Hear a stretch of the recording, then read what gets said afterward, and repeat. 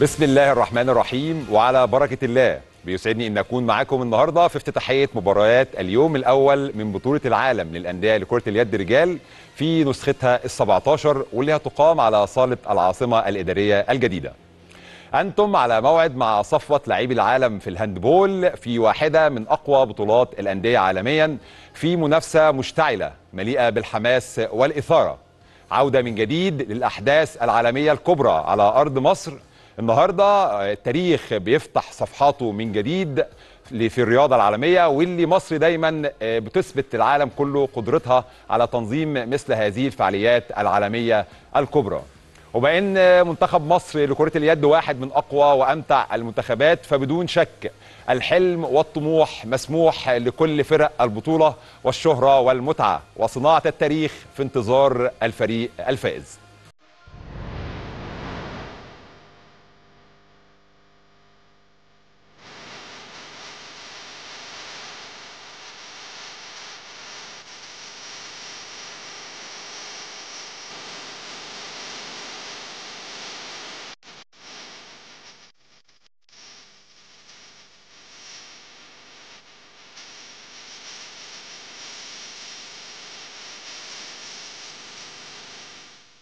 أهلا وسهلا بكل متابعينا متابعي قنوات اون تايم سبورتس في كل مكان. بيسعدني في بداية الاستوديو التحليلي أرحب باثنين من نجوم كرة اليد المصرية الكابتن طارق محروس المدرب القدير والمدير الفني لمنتخب مصر الشباب. كابتن طارق أهلا وسهلا بيك معنا أهلا بيك يا محمد أنا سعيد جدا موجود معاك والكابتن أحمد بلال تاريخ كبير في كرة اليد يعني. معانا كمان طبعا قائد منتخب مصر السابق الكابتن أحمد بلال. كابتن منتخب مصر السابق والنادي أولمبيا. كابتن أحمد أهلا بيك ومساء الفل. أهلا بيك وأنا سعيد بوجودي معاك. وطبعا كابتننا الكابتن طارق محروس ده حاجة جميلة وشرف لينا إن أنا أكون موجود معاه منورين يا كباتن يمكن النهارده طبعا اليوم الأول من البطولة عندنا في ثلاث مباريات. المباراة الأولى تنطلق الساعة الثالثة. بعد قليل طبعا من دلوقتي تبقى تجمع بين نادي الخليج السعودي وكاليفورنيا إيجلز الأمريكي. أما المباراة الثانية فتكون الساعة 6:30 هتكون بين النادي الأهلي وجامعة سيدني الأسترالي. المباراة الثالثه هتبدأ الساعة 9 مساء وهتكون بين نادي الزمالك وتاوباتي البرازيلي. طبعا هبدأ مع كابتن طارق وبطولة العالم للأندية في نسختها 17 مشاركة تسع فرق. حابين نعرف المستوى الفني أو تقييمك للمستوى الفني للبطولة كابتن طارق؟ طبعا بسم الله الرحمن الرحيم. تقييم للبطولة الاتحاد الدولي قيمه حط ثلاث ثلاث أندية على على رأس المجموعات وهم فيس بريم وبرشلونة وماجدبورج دول حطوهم على رأس المجموعات آه وحطوا آه تاني آه التواني حطوا النادي الزمالك والنادي الأهلي والخليج السعودي والتوالت كان توباتي البرازيلي وجامعة سيدني وكاليفورنيا الأمريكي دول كانوا التوالت وبالتالي الترتيب اما جه بهذا الشكل طبعا جه عادل. النادي الأهلي اختار المجموعة اللي فيها برشلونة لأن هو المنظم. فاختار المجموعة اللي فيها برشلونة. الزمالك وقع حظه مع فيسبريم المجري. ومعانا بطل البطولة الثلاث نسخ السابقة وهو ماجدبورج الألماني.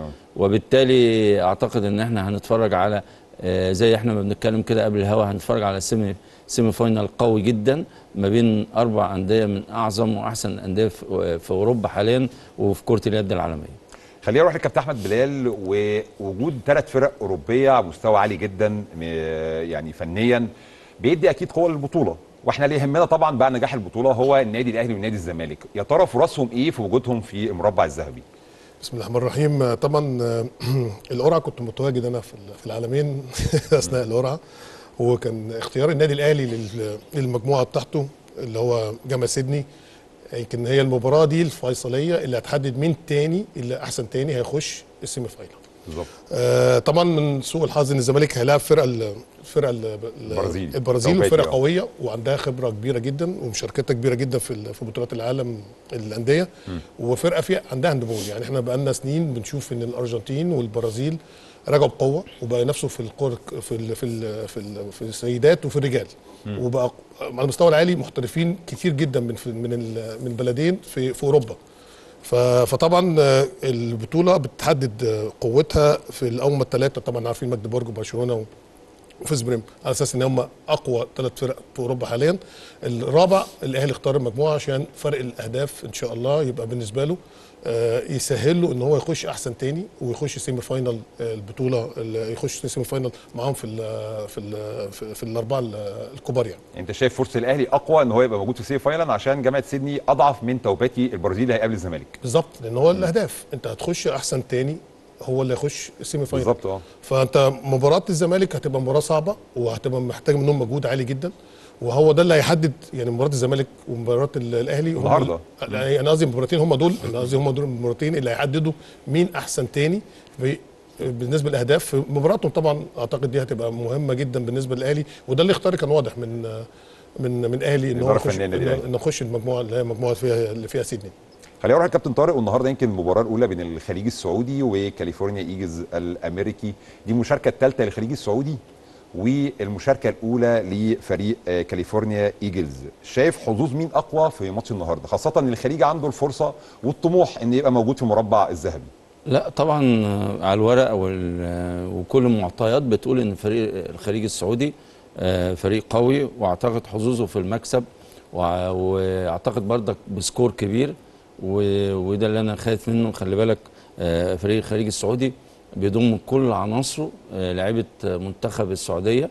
ومعاهم اتنين من أحسن اتنين اللي موجودين في حاليا في منتخب البحرين. وهو الصياد ومحمد حبيب. دول أحسن اتنين لعيبة حاليا في آه آه في منتخب البحرين. وبالتالي فرقة الخليج فرقة كبيرة وفرقة قوية. حضرتك عارف الفرقة دي كويس كابتن طارق حضرتك آه. كنت في السعودية وهناك في الدوري السعودي وبالتالي عارفهم كويس. آه لا حافظهم يعني يعني لعيب لعيب وطرق لعبهم وهم بقى لهم حوالي ثلاث سنين ما اتغيروش بس بالعكس هم بيزيدوا كل سنة عن الثانية السنة اللي فاتت جابوا مكتبة أحسن لعيب آه، في السعودية مكتبة السالم ده أحسن لعيب في الخليج حاليا. جابوه نادي الخليج آه، خدوه من نادي النور. وبالتالي هم فرقة كويسة. يمكن الحاجة اللي أنا استغربت استغربت لها إن هم ما دعموش في البطولة دي رغم إن حظوظهم إن هم يخشوا آه، في الروابع كتير. أعتقد إن هم مكتفين باللعيبة بتاعتهم اللي هم بيلعبوا معاهم في الدوري. بس هو كان آه، في تقريبا اللجنة المنظمة الاتحاد ال- البطولة في الاتحاد الدولي منعت إن أنت تستخدم لا محترفين في البطولة لا. لا لا لائحة لائحه لائحة البطولة بتسمح لك بثلاث لعيبة. ثلاث لعيبة بس كان سبعه أيام زمان دلوقتي بقى ثلاثة بتسمح لك بثلاث لعيبة. قلل وبالتالي من. حقك إن أنت آه، آه، تستعين بثلاث لعيبة. لكن فرقة الخليج زي ما إحنا بنتكلم فرقة مميزة جدا. على فكرة كانوا عاملين معسكر من حوالي شهر هنا في مصر آه، لعبوا خمس مباريات. آه، خسروا من منتخب الشباب اللي أنا بمرنه وكز وتعادلوا مع النادي الأهلي وكسبوا الثلاث ماتشات اللي بعديها. راحوا أو بعد ما خلصوا فتره الإعداد راحوا لعبوا بطولة السوبر آه، خسروا من آه، الهدى السعودي ودي كانت مفاجأة كبيرة. طبعا فريق الهدى آه، برضك من فرق التقيلة في السعودية وعندها عناصر مهمة في المنتخبات زي علي وحسين الطروطي وعبد الله حماد وعبد الله السالم. المجموعة دي كلها لعبت لكن أنا شايف إن المكسب اللي عمله نادي الهدف في المباراة دي وخصوصا إن هم كانوا بيتقابلوا السنين السنة اللي فاتت واللي قبلها في النهائيات مع الهدف.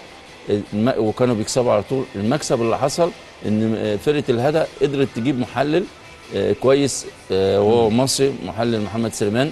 آه، أما تيجي تتفرج على الماتش تحس إن هم نازلين قاريين الماتش كويس. طبعا دور المحلل زي ما أنت حضرتك عارف بقى مهم جدا. مع اي مدير فني طبعا يعتبر دراعه اليمين في أي فريق دلوقتي بالظبط هو اللي. بيحدد له طريق اللعب اللي تلعب فيها إزاي تشتغل عليها نقط ضعف نقط قوة. وبالتالي وجود سليمان كان معاهم إداهم دفعة قوية إن هم يقروا الفرقة. وفعلا كانوا نازلين قاريين كويس فرقة الخليج وقدر يكسبوهم في آه، مباراة السوبر السعودي ودي كانت مفاجأة.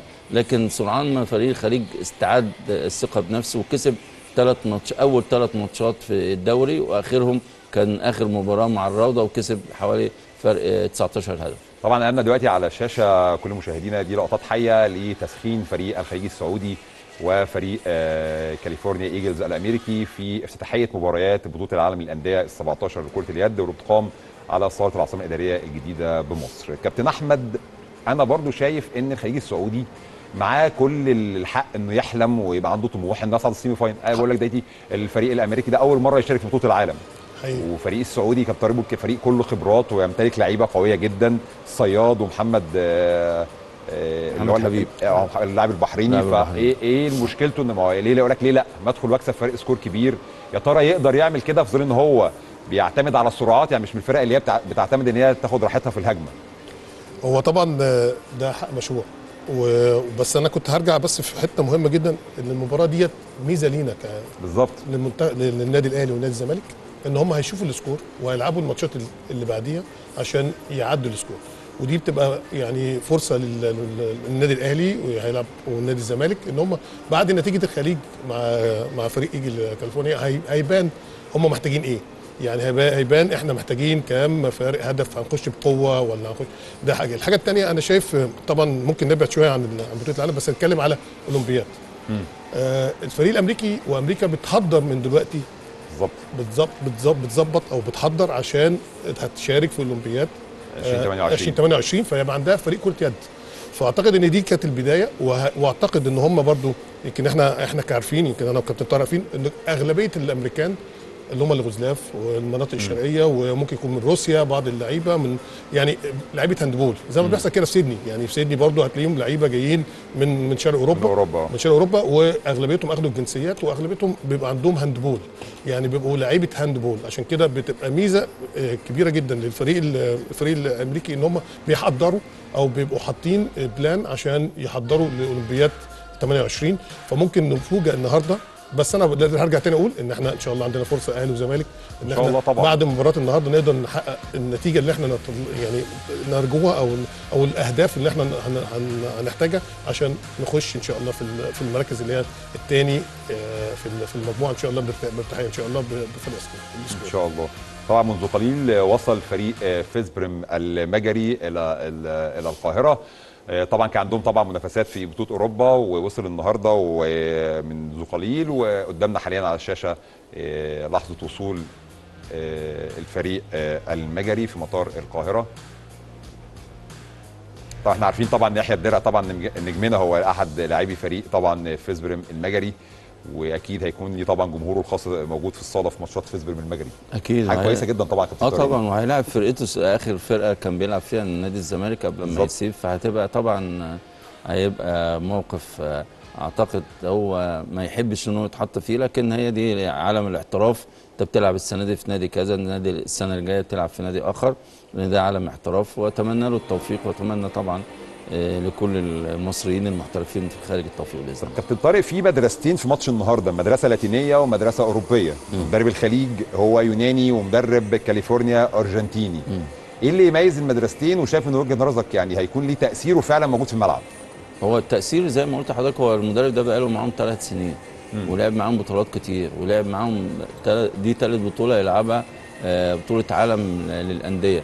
وبالتالي فرق الخبرات بالنسبة للعيبة الس- للعيبة السعوديين في الملعب هتبقى أكتر. وهيبان هيوضح الكلام ده أعتقد في الشوط الثاني يمكن ممكن في الشوط في بداية الشوط بداية المباراة آه، فرقة الفرق فرقة أمريكا مش تبقى واضحة جدا لل لفريق الخليج. خليج. لكن أعتقد إن الشوط الثاني هيوضح أسلوب اللعب وطريقة اللعب وبالتالي يقدر الفريق الخليج السعودي يقدر يشوف مس- مسارات اللعب شغالة فين ويشتغل عليها. آه، زي ما إحنا بنقول أو زي ما الكابتن أحمد بلال قال المدرسة اللاتينية بدأت تعلى في الفترة الأخيرة. لكن يعني إحنا مش شايفين بصمة معينة لمدربينها. إحنا شايفين للعيبة. لكن المدربين بتوعهم حتى على مستوى بطولات العالم للشباب أو الناشئين أو الدرجة الأولى ال- البصمة مش واضحة قوي. لكن آه، هنشوف هل هيقدر مدرب أمريكا ان هو يقدر يدينا معادلة غير الطبيعية ولا المدرب اليوناني بتاع الخليج السعودي هيستمر على الخبرات اللي معاه؟ لأن زي ما أنا قلت لحضرتك هو معاه منتخب السعودية كامل.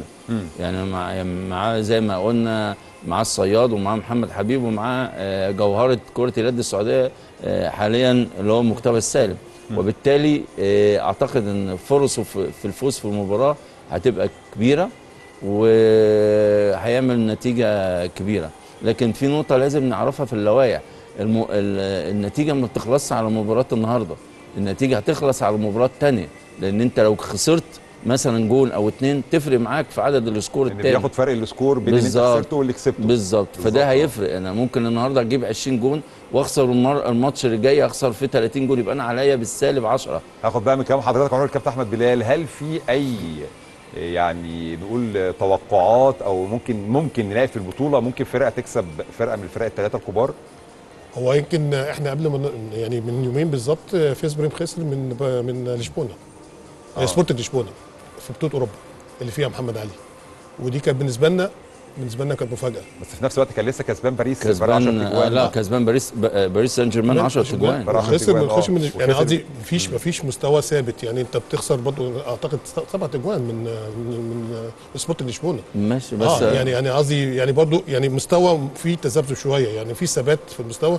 ودي أعتقد إن إحنا برضو عندنا بعض الخبرات عن فريق المجري. ان إحنا آه، اتقابلنا فيه آه، كتير وعارفينه واتفرج عليه كتير من أيام ما كان آه، آه، دوت آه، يحيى خالد. ودلوقتي طبعا يحيى الدرع. فعندنا خبرات وعندنا يعني بنبص عليه كتير. يعني إحنا عندنا فرصة كبيرة نتفرج عليه ويمكن طبعا أكيد طبعا برشلونة طبعا و- و- وماجدبورج طبعا فرق جامدة. بس أنا بتكلم إن إحنا آه، فيسبريم في في عدم ثبات شوية في المستوى من نتيجتين. طبعا لما كسب باريس سان جيرمان وده أنا لا جدال عليه. بس أنا بتكلم إن في في في طلوع وفي هبوط. يعني الزمالك عنده فرصة إن هو ممكن يتعادل على الأقل مثلا مع فيسبريم؟ لا هو اللي قاله لا، كابتن طبعا. طارق اللي قاله اللي هو اللي هو ال score. أنا بتكلم في إيه؟ بتكلم. في الفرق ال score فرق الماتش ال score. يبقى قريب. يعني إحنا ما نفتحش ماتش من الماتشات ديت زي كان برشلونة أو ماجدبورج أو فيسبريم اللي, بي الماتشات ديت أصلا بتبقى ماتشات بتبقى جاية one side game فإزاي أنا أخليها قريبة. تبقى close يعني فرق 2 3 1 2 3 4 5 وده أعتقد هو ده اللي هيحدد. زي ما. كان الكابتن بيقول إن هو ده الفرق ال score بين plus و minus هو ده اللي هيحدد. فالماتشات ديت ماتشات يمكن هي دي اللي إحنا بنتكلم فيها إن الميز- الميزه الأولانية إن إحنا هنلعب بالفرق ال- الضعيفة الأول وبعد كده نحضر الفرق القوية.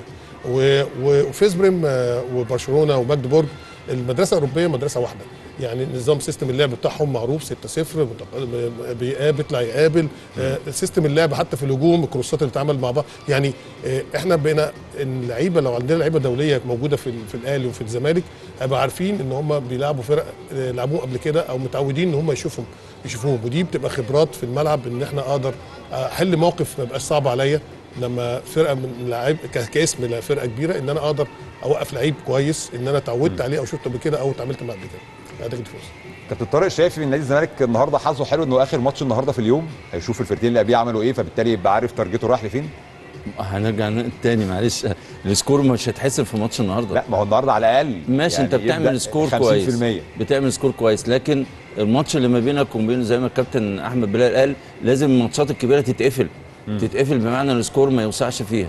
يعني يعني على سبيل المثال مثلا إحنا إحنا كنا بنتكلم على فيسبريم فيسبريم لسه جاي لها مدرب جديد ال- باسكوال ال- الاسباني وده من احسن ومن احسن المدربين اللي في العالم. يمكن تذبذب المستوى بالنسبة له حاليا زي ما إحنا بنقول خسر ماتش وكسب ماتش ان هو لسه ما دخلش على الفرقة ما بقولش. آه طيب ما بقولش معاه شهر لكن هو أنا متوقع على نهاية الموسم المدرب ده حت لأن كل مكان بيروحه بيعمل بصمة كبيرة. فرقه برشلونة ال- ال- السابقة آه، كل بطولات أوروبا اللي كسبتها كانت هو كان هو المدير. الفني بتاعها. وهو مدرب آه، كبير مدرب عالمي فاهم هو بيعمل إيه. فأعتقد إن ماتش الزمالك وخصوصا فرقه الزمالك زي ما المدرب بتاعها صرح وقال إن أنا بكون فرقة. ما ينفعش وأنت بتكون فرقة تكون بتلعب فرقة تقيلة زي دي. آه تقدر تقول لي الماتش قريب. لا الماتش هيبقى في الملعب لكن لو عرفنا نقفله تبقى حاجة كويسة جدا. ده بالنسبة للزمالك. بالنسبة للنادي الأهلي أعتقد إن ماتش برشلونة النادي الأهلي لعب معاه قبل كده. في آخر آه وعمل نتيجة كويسة. آه. وأنا متوقع إن النادي الأهلي بالمستوى اللي موجود فيه اللعيبة حاليا والخبرات اللي خدوها في السنين اللي فاتت أعتقد إن ماتش برشلونة ممكن يبقى آه، ند للنادي الأهلي ويقدر من خلاله يوصل المربع بإذن الله. طب كابتن أحمد تتوقع الخليج هيبدأ المباراة إزاي كطرق دفاعية؟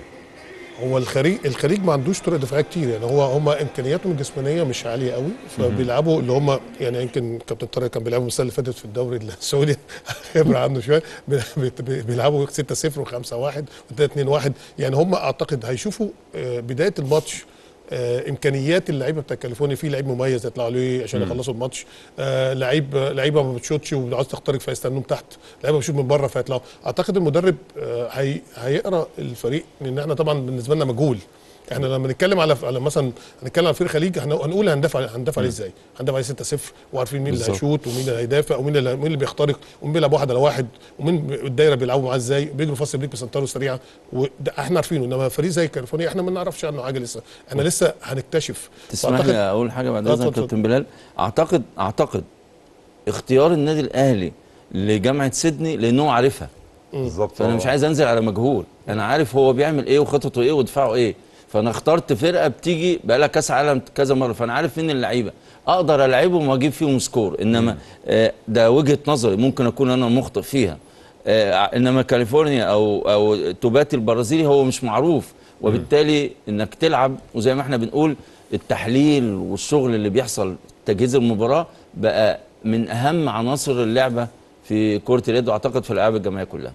يعني نعتبر الشوط الأول بالنسبة لمدرب الخليج هو هيبدأ يستكشف فرقة كده. آه، كاليفورنيا ايست بتلعب إزاي وبناء عليها يقدر يبني خطته. أكيد أكيد. هو أصلا بيدافع على طول 6-0 وأما بتحصل أزمات عنده في المباراة بيدافع 5-1 لكن أعتقد إن هو برضك هيبدأ بدفاعه آه، المعتاد 6-0 لغاية ما يقرأ ال- الملعب ويشوف الدنيا فيها إيه. وأنا بقول لك المتغيرات في المباراة دي هتبقى في الشوط الثاني وليس الشوط الأول. تمام. خلونا نروح للمعلق الرئيسي. طبعا زميلنا الدكتور ايهاب صلاح للتعليق على أحداث الشوط الأول بين نادي الخليج السعودي ونادي كاليفورنيا إيجلز بطل أمريكا في أولى مباريات بطولة العالم للأندية اللي هتقام في مصر خلال فتره من 27 وحتى 3 أكتوبر. فانتظروا